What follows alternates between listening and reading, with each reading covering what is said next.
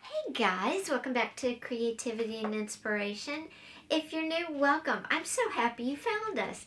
I'm Lisa, and again, this is Creativity and Inspiration. How's everybody doing? It is Saturday. This is our mass making video. What is it? Should you do it? Is it right for you? And how do I do it? So I've got a lot of great ideas for you. But before we get started, I thought I would share. I've opened Friday, Saturday, and yes, I went ahead and opened Sunday on the Advent calendar from Arteza. So I thought I would share that with you. Also, I went to an estate sale and got a few things there, and I thought I would share a mini haul with you too. And then we'll jump into today's video. So on Friday, I got this little pot of gouache paint. It's a gouache paint tub. I don't know, well, if I found my glasses. Yeah, it doesn't say whether it's acrylic, if it's just gouache. I think it's just gouache since it doesn't say acrylic. It doesn't say the color, but as you can see, it's kind of a mustardy color, like a honey mustard color, not a yellow mustard. It's like a honey mustard color, which I use a lot of honey mustard. I just don't know these tubs in me. I had that whole thing of tubs and I spilt it more than once, so had to get rid of it. Anyway, today's um today's advent calendar was this beautiful metallic blue acrylic paint. I am super excited since I love acrylic paint. And then Sundays is another little round canvas, which is so cute. I just love these. I still haven't found the little square ones I have, but as soon as I do, I'll show everybody. So that was the Advent calendar, Friday, Saturday, and Sunday. And I promise that's all I've opened. I There's still the rest of the days, which is exciting. Okay. What else? Oh, the haul. Yes. I went to the estate sale. And I was going to show you, I didn't get very much, just a couple of things. So, oops. So I got my grandmother's quilting stands and I am going to make a quilt. That's one of the accomplishments I have set, or one of the goals I've set for myself for 2024.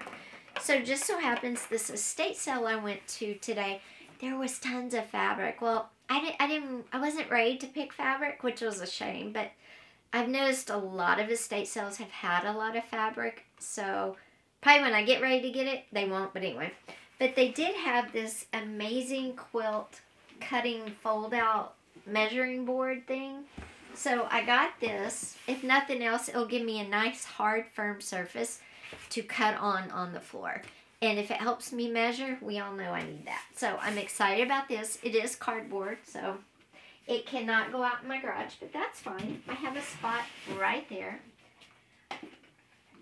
I got this, and I'm going to do some art with this. I see this as an art piece. I actually have a bigger one, too, out in the garage, and they're both going to be part of my um, woman's art show that I'm going to work on after I finish the one I'm working on now. So this is going to be an art piece. And then I got these cute stamps. Oh my gosh, look at those. How cute. And it was actually 25% off at $3. But look how cute. And look at this. They're like brand new. I don't know if you can see in there, but they are like brand new. They look awesome on the back. Like, I don't think they've been used very much. And they're all, they're all just like that. Can you see that? They're all brand new. So, whatever 25% off of $3 is. And really, I got it because of the little poodle. Because if you didn't know, both Sam and Henry are part poodle. I then got these inks, and I thought they were just inks, but these are fabric inks. So we are going to see these on some canvas. I've never seen an artist do that, so I'm going to try it out and see how they react on canvas and what I can do on top of them. So that's probably going to be in an art video coming up soon. I also got these artistic blending chalks that I thought would be fun for use in journals, also in my sketchbook. And there were so many pretty colors. Lastly, I got these little trays. I got five for a dollar. And I thought, I'm trying to get better organized. And I thought, I have my paint, a big old tub down there. And it's hard to find colors. So I thought I would at least try to organize a little bit. And these are the start of that. I don't know if they're really a good idea or not, but I'm going to try. So this was my haul. I'm pretty excited by it. That was it. And then I got really, really weak. Like, I don't have diabetes. I'm not like a diabetic, but I get low blood sugar a lot, which is probably my complex regional pain syndrome. And while I was shopping at the estate sale, I got you know how do you start to feel shaky, like you got you've got to eat. One thing that threw me off was I slept late this morning. So I've been off all day, like my time is off. Like even now I thought it was two and it's three. So I've been off all day and I didn't realize it was noon and I hadn't eaten yet. So had to go eat and then I went by and picked up some books at the library and came home. But now we're going to do mass making. What is it? Should you do it? And I'm going to show you some examples. So what is mass making? Mass making is when you make a lot of one thing at one sitting. You're trying to get ahead. You're trying to build up a stash. So when you're putting together a journal, you don't have to make each individual little thing. A lot of people make tags, pockets, journal cards, okay? Those things they will make in mass. Why should you do this? Well, it does save time, obviously. Why shouldn't you do this? Because everything looks the same. Even even if okay because it, when you make them and you decorate them fully okay they're all gonna look the same but i'm decorating them different you might say but because you're making them all at the same time they're all gonna look very very very very similar even if the subject is different the style will be all the same and that's fine. Some people love doing that. Other people don't. An example, what would you mass make? Something like this book pocket right here, okay? This would be a mass make. You could sit down and fold up book pages, ink them, and have a bunch of blanks ready to go.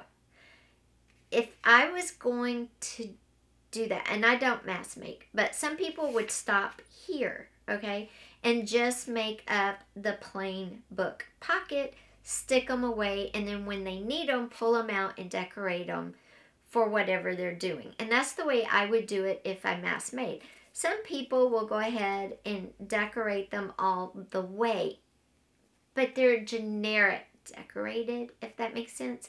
It's not for a sewing journal or a Christmas journal or a Victorian journal or grunt. It's it's just generic decorations or spring bird journal. Okay, it's just generic. I like things to be very specific. Some people don't, and that's fine.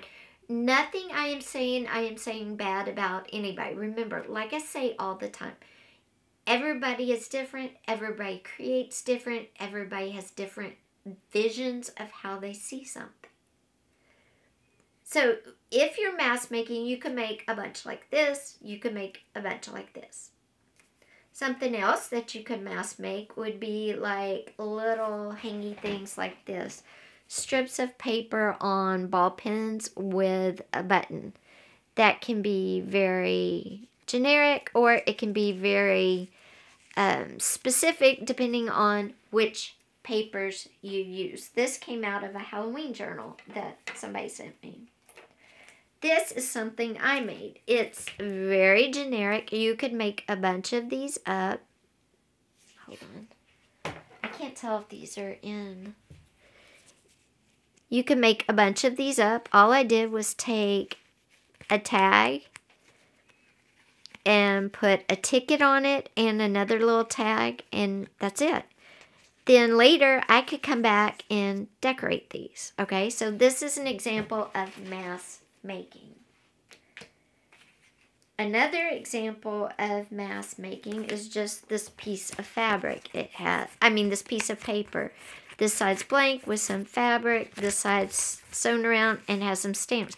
But this could go into any journal and I could very much make this specific to any theme. Another example of mass making would be just to paint a bunch of tags. You could paint them different colors, all the same colors, but you sit down and you paint them. You're getting the, that step out of the way. Somebody sent me this. I think this is the actual cardboard the tag's made out of. They stitched around it. They put coffee dyed paper on the back. And then when I get ready to use this, I can use it plain or I could make it specific. I could even decorate this side. So that's an example of mass making.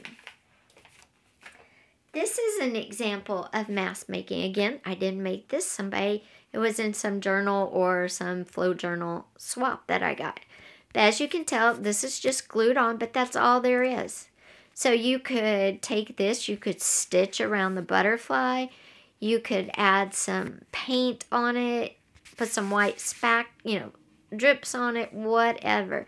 So this is just, you could glue a bunch of different pictures on tags and finish them later. So that's an example of mass making. The last one I'm going to show you is one I did. It's like a specimen slide. Okay, but this isn't really in finished form. You could take this, put different paper around it, put writing around it, whatever. But you could make a bunch up like this and then have them when you need them. Okay, so mass making is pre prepping something either all the way or base the base of it and then you take it all the way at a later time. And wh which way you go, whether you go here or here, is up to you. Let's say we have our little, let's say we have our little tag here. Now, I'm ready to put this in a journal that I'm creating. And my journal is about flowers springtime. Because yes I know it's winter but I'm always all about the I'm always all about the flowers. So what could I do to make this a finished thing product a finished tag? Well you would decorate it up. That's where like your your colorful papers come in.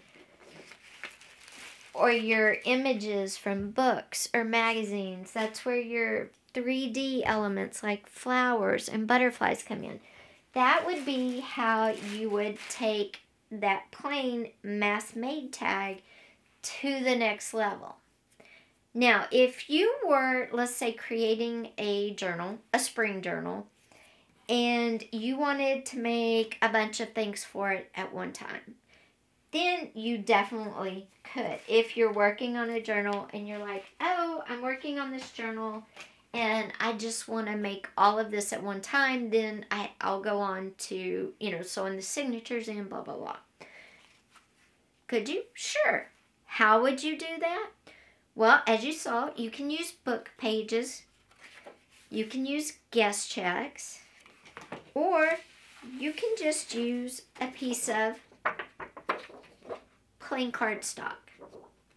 And I'm going to show you how you could use some plain cardstock to create a bunch of tags, journaling cards, belly band, tuck spot. And I'm also going to show you how even though you're creating different items, you're creating them all from the same sheet.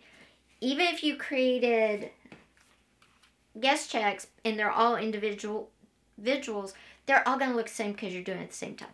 But it's fine that's fine too. Let me show you how I'm going to use the one sheet of cardstock and I'm going to show you how you could create a great base for your spring journal. And then I'm going to show you how you can go ahead and take all of those to the next level. So all you have to do is cut out the shapes and you're ready to go.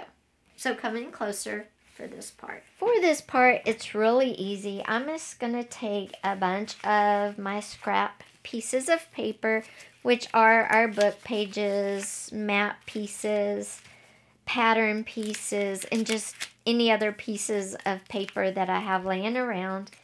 And we're going to layer them on my cardstock. Okay? And we're, we're going to glue them all down.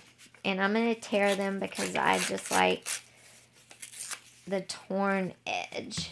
And I'm just, oops, I'm just going to place them down.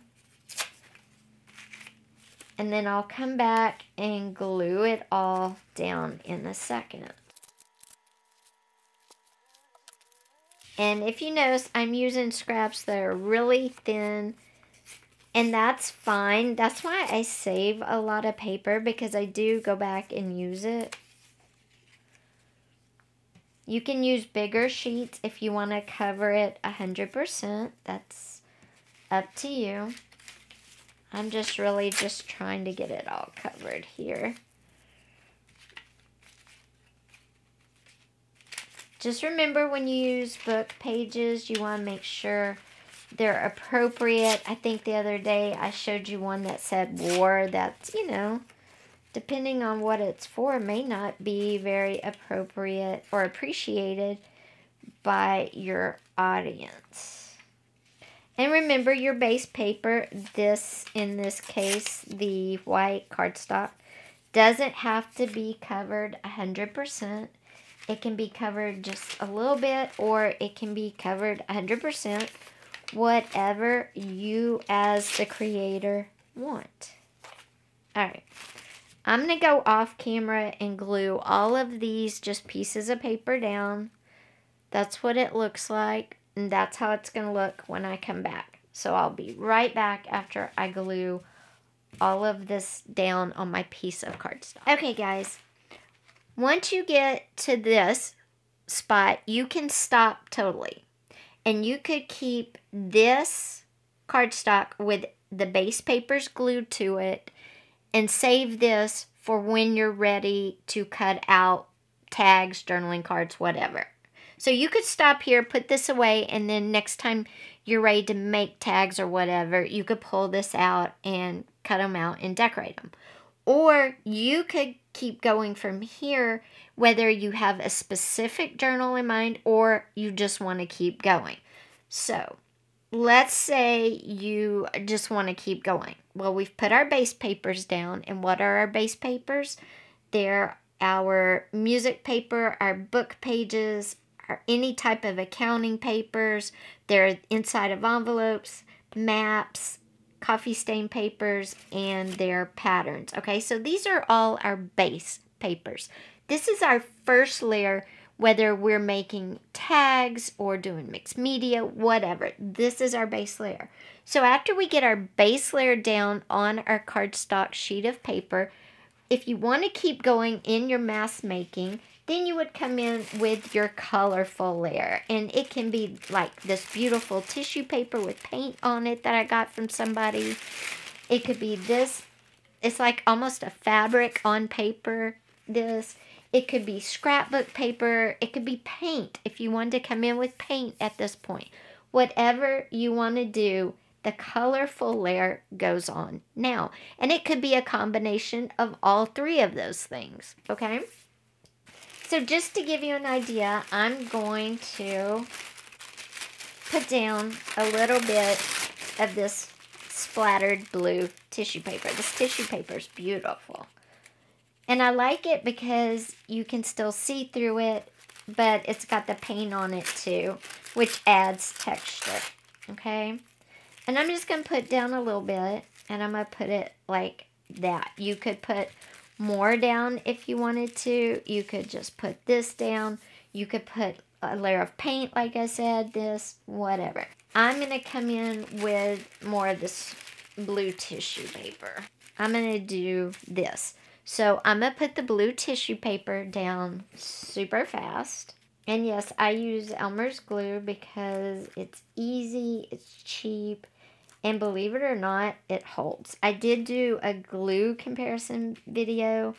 I will put the card above if you want to watch that. I think I compared 12 glues. And yes, I don't like glue. I normally don't do glue, but that's what works well for this. So, I just love the paint splatters on here.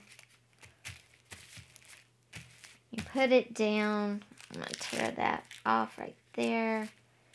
And I'm going to throw it right here in the center. Okay. So once you get the next colorful layer down, then you can come in after it's dry and cut out what you want at this point, okay? So you've got the biggest layers down, you've got the base layer down, and you've got the colorful layer, layer down. Now what I like to do before I put on the frosting or the finishing layer, I like to cut it out and then I'll finish it once it's in its shape, whether it's going to be a tag, a journaling card, or whatever. Something else you could also do at this point is sew it. You could take your sewing machine and run some designs all over it. You could do that. I prefer to do that after I cut out my shape. So I'm going to cut out I'm going to cut out a tag real quick just to show you what you can do. I was going to use one of these. Okay, where'd it go? Where did it go? Oh, here it is. Okay, I'm just going to use my tag pattern here, and I want to make sure I get some of this beautiful blue paper. You could cut out whatever you want. You could use a um, punch and punch out a shape if you wanted to. You know, be you. We're all different. We all create different. Just do what you feel comfortable doing. I would say it is a good idea to use cardstock or a light cardboard for this because that is a lot of glue and it does get quite heavy. And you don't want your paper that's supposed to be supporting your everything to collapse. Now you could come in with some more paper. You could add some lace you could come in with our flower here, which I think looks beautiful right there. And we might come in with our butterfly. And I'm going to put our butterfly kind of down here because this color right here is very similar to my butterfly. So I want to tie my butterfly color in like that. And then this this would be my tag, see? So if we just stop here, put this in a drawer, and when we know what our journal is, pull it out, then all we have to add is our frosting. In this case, it's the flower and the butterfly. You could also cut out your shapes, do your sewing, and put your shapes in a drawer. So you could cut out, say, you could get, you know, figure out how many tags you need, or are you short on tags, or what do you hate making the most? And cut all those shapes or punch all those shapes out. Save them for when you have a journal ready and then decorate them with the frosting. That's totally up to you as well, however you go about it. But that's what mass making is and most people do mass making to save time. Maybe they, you know, have a lot of journals they make because they sell them on Etsy, you know, whatever. Maybe people just mass make because they really hate making the ephemera portion, which is the tags, the journaling cards, the belly bands, all of that. So they do this so they can enjoy the signatures and all of that. I also talked about how you can fold up your signature pages and just stick folded blank signatures together somewhere. That's a form of mass making as well. And that's my preferred method of mass making. I like to just have all my signatures pre-folded so when I get ready to make a journal I just go pick out however many signatures I want they're already folded and created and that way I can just start making my ephemera and all of that. But everybody's different. You can also cut you know a tag shape out of here. You could use tags on here as part of the layering. You know, just however you layer, however you finish a tag, that's what you should do. This was just to give you an overall idea of what mass making is, the different stages of mass making, and where you can stop or start, and my personal opinions on it, which that's all it is. So, guys, that was all about mass making what it is, why people do it, and to give you an example of how to do it if you've never done it. I hope you liked this video. If you did, please be sure and give it a thumbs up. Also, don't forget, if you haven't yet, hit that subscribe button with that little bell. We are desperate, desperately trying to get to a thousand subscribers by December 31st, and we are 196 subscribers away. Come on, guys, we can do it. So thank you for being here. I will see you on Monday. Take care. Have a good rest of your weekend. Bye-bye.